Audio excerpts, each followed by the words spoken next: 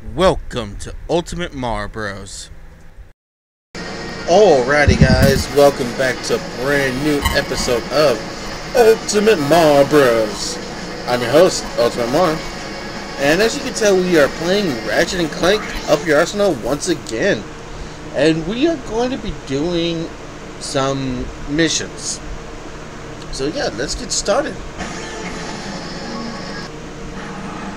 And you know, these missions that we're doing for the Ratchet and Clank Up Your Arsenal game is really where the game, the series, starts to take a change. At least for this game, I don't really remember having missions like this, at least in any of the other games. And this is the, like I, I've said before, this is the very first and really only Ratchet and Clank game that has multiplayer. And it's kind of like this stuff that we're doing right here is part of the multiplayer experience. Uh, you end up fighting against each other to uh, take over each other's bases. And it's a lot of fun. I remember playing this with my roommate back in college let me just... No, I guess not. I was trying to get myself killed there, but that didn't happen. Uh, yeah, one of my roommates and honestly one of my best friends, uh, Clayton Leopold. He's a great guy. He's married and he's got kids now. and I wish him and his family all the best. I was there for their wedding and everything. It was a very nice wedding. It really was. I enjoyed being there, and I really had fun with him and his family and all of that. I've always been close with my roommate. it has been a long, long time since we've actually talked because we live so far away from one another and for so many years I was doing, I was working night shift from 6 p.m. to 6 a.m. and he was doing morning shift and we just never was able to hang out. And I miss being able to hang out with him and Alex Vest, another friend of mine from college, uh, and one of my coworkers, Marcelo Samaniego, who was supposed to be my uh, co-host, but nothing worked there. Hang on. Alright, well, that worked. and yeah, we were supposed to work on this and do this show together, but he's in Washington, Seattle, and I don't have internet. Man, I miss being able to just hang out with friends do anything. I'm. This whole Backstreet Boys reunion tour is really fucking with my steez. Skis, man. It really is. I'm really, really over the Backstreet Boys, Backstreet Boys reunion tour about now. It'd be nice if it was fucking over. It really would be. But stay away, stay away, fucker. Just, just be destroyed. Jesus Christ. I remember my first meeting with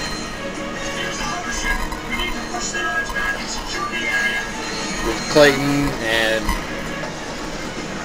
all of them. Uh, you know what? I'm going to get myself killed if I stay. Here. Stop! Fuck! Piece of shit. Come on, you fucker.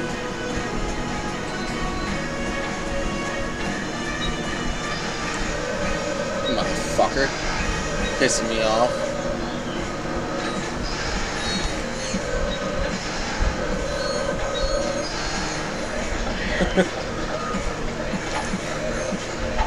But yeah, no. Uh, my first meeting with uh, my friend Clayton, uh, I had done when I graduated high school back in 2008.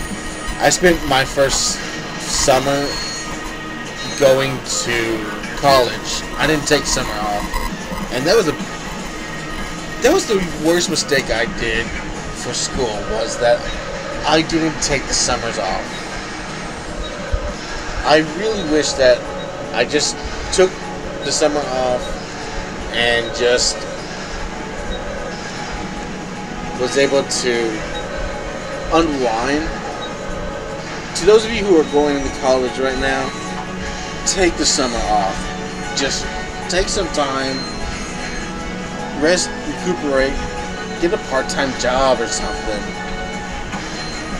Just stop dealing with school for the summer.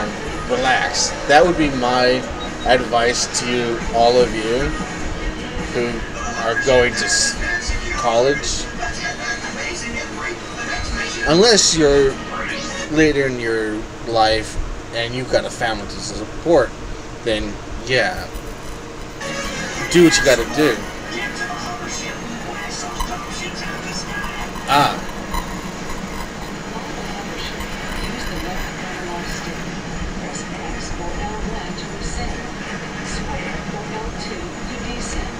This actually takes some focus. Okay, whatever. This actually takes some focus from me. But uh, I remember my first meeting with Clayton Leopold, my roommate. As I said, I had taken my first uh, summer of high school after graduating high school. Come here, damn.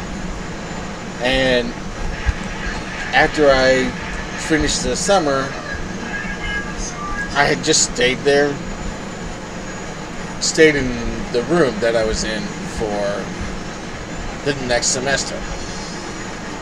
And I was just, I was asleep in the room, minding my own business, just out like a light, and then all of a sudden, someone just walks into the room that I'd never seen.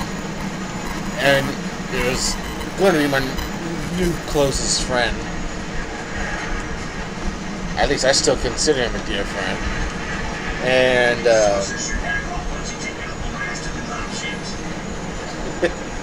he came in with his family, and I was like, "Hey, can you guys give me like two two minutes to get dressed, and, and then can you guys come back in?"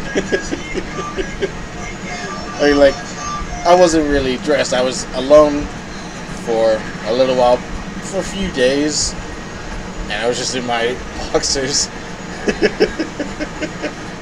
oh man, that was that was funny. And after I got dressed, brushed my teeth and everything, and met with them, they were really really nice people. Clayton and his family were very very kind, very nice people, and I really really did enjoy meeting them, and talking with them,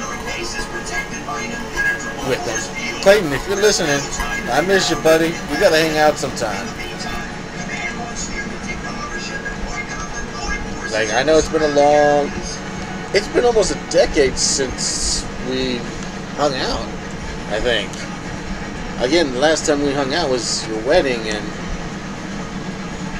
that would be about Yeah, that would be about 10 years now. It was a long, long time ago. And I miss you, buddy. Only thing that kind of drove me crazy about you was that you always had this one damn song. Uh, Chicken Fried by God, I don't remember who it was. And I do not like country music. I really, really don't like country music. It's just not for me. But you always had that music on, that one song. either it was your car, I mean your truck, or anything else, you were always playing that one song. I ended up having to either like it or just suffer all the time, and I ended up liking it after hearing it so often. It's not a bad song now that I think about it. But after I met them, like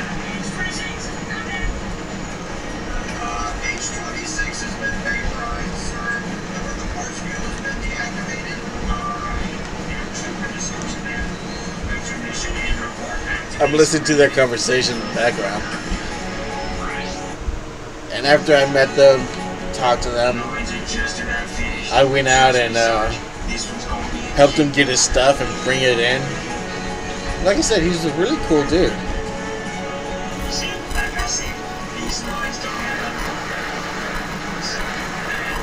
And I really do miss hanging out with my friend. I wonder what he's doing now. Clayton, if you're watching, you still got my number. I sent you a text with my new phone number. So, yeah, give me a call. Now, another one of my friends is uh, Alex Vest.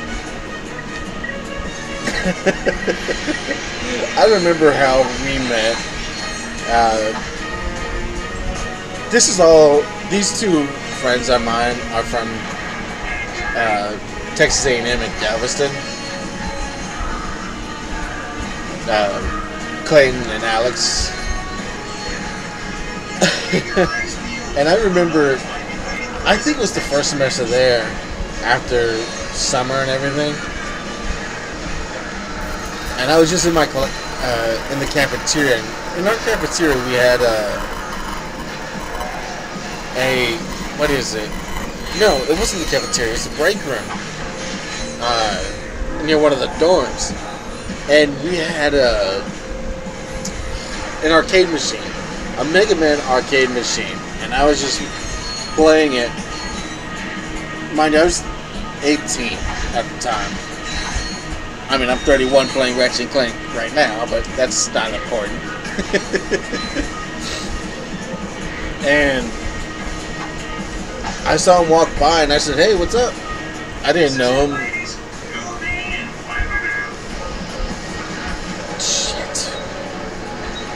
And we started talking, and we got along fantastically, you know.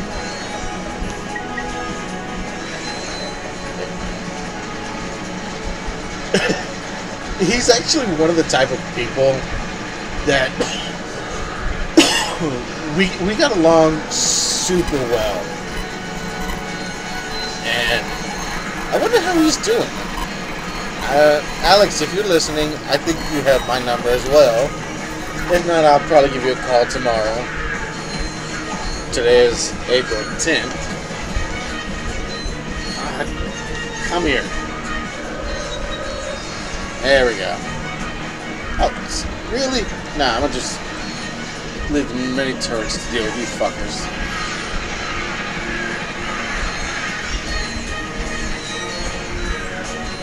Is that everybody?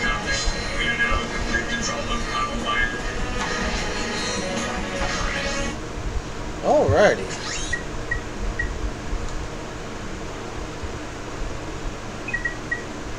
Shit.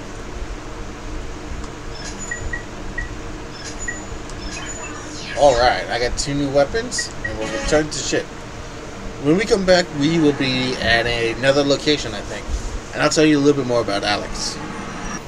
I'm not sure why we're back at Starship Phoenix. It was the biggest Ah. Pyramid you've ever seen. Big as a star cruiser and packing twice as much firepower. There was no escape. He was coming right at me. Closer, closer. Oh, what am I gonna do, right? Closer, even closer. Click, click. What blaster jam? No way! What happened next? Yes, good. Give it to it. So, this is the mighty Q-Force I heard so much about. Pathetic! I'm trying to find a pun for Q-Force, but like- No, I can't think of anything starting with Q as an insult. Quarantine? I don't think that. I think that starts with a Q.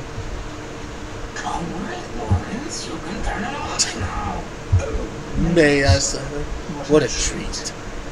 I love Lawrence. He's a sassy motherfucker. Come in.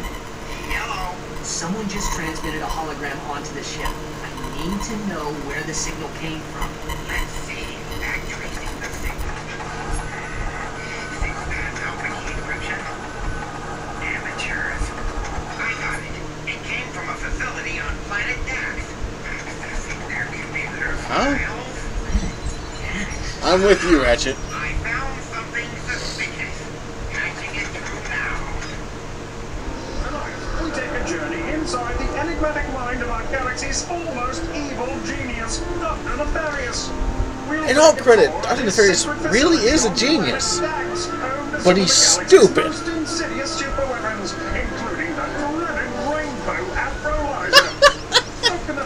we've all enjoyed your work, but how do you respond to critics who say your latest galactic schemes are just more of the same? I will annihilate them!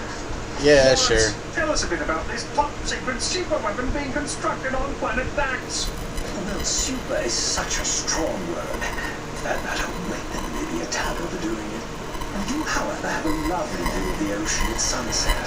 Why is he nodding? Is poised on the brink of galactic domination, or is this super weapon just the latest in a series of maniacal pipe dreams? Pipe dreams. Stay tuned for more from I'm gonna make sure of that. Whatever Nefarious is doing on Dax, it can't be good. No We'll shit. Check it out. You're welcome. Alright, I guess I'm going to Planet Dax. Hang on. Wait, something happened. To space, my tiny ghost once again. Actually, we were hoping we could just pick up the gadgets and What the hell was that sound? the spaceship to catch. Ah, you slackers are always looking for the easy Is that the robots just marching in place behind you? out. Have the device. Okay, I don't understand these physics. She's a robot. Shouldn't her, you know, tits not move? For that matter, her stomach, too. I think she's a robot. Is she a robot? Excuse me, can somebody make sure that there's coffee brewing in the I have no idea. I'm very disappointed. She certainly looks like a robot from the original. Those platforms can be activated with the hypershot. Yeah, The green object. Yeah, I'm not. I'm not too interested in this. That hacker is using Oh, this shit. Just stand near a terminal and press triangle to hack in. I hate these. They're not hard, they're tediously annoying, and I wish they were part of the game. At least in the last game, they were more interesting. But this is this is annoying. Press square to No, I'm I'm not even. Press circle to destroy the red defense programs. The blue defenses are indestructible. Anyways, this is really tedious and annoying. I'm only showing you this one, and then maybe one. No, I'm just gonna show you this one, and I'm not gonna show you the others. I'm just gonna pause while I do this because this is this is tedious and annoying. It really is, and I don't like doing this. Yeah, this this was a fail, in my opinion. Anyways, my friend Alex, he's one of the people that oh oh shit. Oh come on.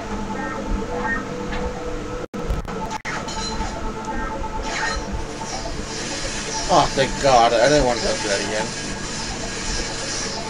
That whenever we just hang out, we we talk like a couple of chicks. We, we really did. And it was interesting. It, it was weird because I was 18, he was 21, and our friendship just worked. Hang on. It, it was a weird friendship, but we really got along very well. And I remember uh, there was this girl, I think her name was Kristen, that I really liked, that I really wanted to start dating, but for some reason, it just never happened between us. and uh, she knew how I felt about her. And one day he came over and he's like, this and this happened. And she was really afraid of. Press square to collect the green. I don't care. Press circle to destroy Okay, the red defense I know I said I was going to pause real The blue defenses on this, but I wanted to show you guys something. Do you see where at the bottom it says stage one of three? That means I have to go through three of these stages to get through. Alright, I'm gonna pause now, hang on. You know, now that I think about it, I can do this and continue my story. Because I can say the story and just do this without worrying too much. So, I apologize, I'm just gonna do this so I can continue with my story. And he came over and he's like, "Yeah, we made out and all this," but and he was really concerned that we, I would fight him or something. I was like, "Dude, it would be one thing if she and I were together, but she made it clear to me that she only saw me as a friend and had no romantic interest." And like, you're a grown ass man. You have, you make your decisions, and I have no right to tell you whether or not it's okay for you to date this person just because I like it. That that's not how it works. People aren't objects. Women aren't objects to own. I had no say in whether she decides to be with him or not when we work together. You know, it's that kind of thing. And he's like, Alrighty, we'll just take those I really appreciate that. Like, dude, it would be different if she and I were together and you guys made out. But my anger would be more towards her than you because she and I were together Uh, maybe next time. And then still made out with you. That would be worse. I might be angry at you, but I can let that one go. You know what I mean? It's all about how you value your relationships and the way you treat one another and all that. Just be good to each other, you know? Dax facility has two high-security computer terminals. My information indicates that one of them is somewhere out in the island. The other one is inside the main building. Thanks, Al. Appreciate it. We're on Planet Dax now, and I think I'm going to end this video here for right now. I'll continue on talking about my friends in the next video. Uh, I'm going to continue talking about Alex just a little bit more in the next video. So please come back tomorrow for more and Clank Up Your Arsenal and more about my my life. Alright guys, see you later.